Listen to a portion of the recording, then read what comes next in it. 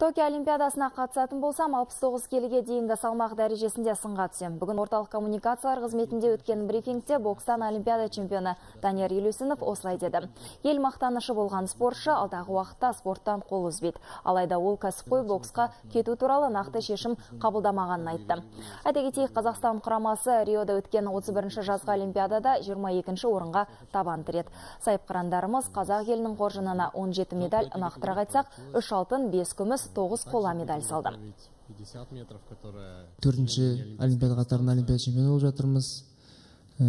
Енді бұл кездейсоқ дүние емес деп ойлаймын. Себебі осы салмақта дәрежедегі спортшыларымыз көп дәрежеге үлкен жетістіктерге жетіп жатыр. Өзімнің осы спорттық жолымды ары қарай жалғастыратынымды бұлмен тоқтамай қай, қай спорт бокс түрінде болатынын әлі ойланам.